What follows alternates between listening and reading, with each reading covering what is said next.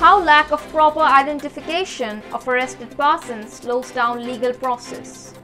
Welcome to Inventiva, I'm Oishi Banik, back with a new story. GS Bajpai, Ankit Kaushik writes, Pan-India guidelines for service of summons, warrants, grant of bails can help make the system quicker and more efficient. The judgment goes on to address the problem by evolving guidelines with respect the process of services of summons or warrants, grant of warrants, grant of bail, and the process of proclamation as an offender. In the impugned case where one of us was appointed as amicus curiae, the court identified two major issues. First, that process under sections 82 and 83 of the Code of Criminal Procedure was being issued routinely. In both the matters before the court, it was found the state was unable to furnish the complete address of the accused and notices weren't sent to the correct address.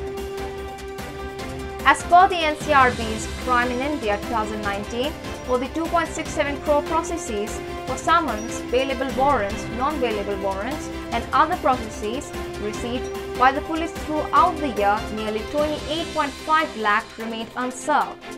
Often, the process of service of summons or warrants is frustrated due to the non-availability of the address of the accused. In practice, however, such verification exercises are conspicuous only in their absence. Moreover, the problem is not limited only to the stage of investigation. As per the figures submitted by Delhi police to the court, there were approximately 18,541 proclaimed offenders in Delhi alone, of which nearly 6,000 had been accused of heinous offences. It has further been observed that figures of proclaimed offenders in Delhi have swelled from 13,500 in 2010 to more than 28,000 in 2021. Seen in this context, the issue leads to violation of the right to speedy trial has been read into the right to life by Supreme Court in a plethora of cases. It therefore becomes imperative to ensure that such cases are not put on the back burner.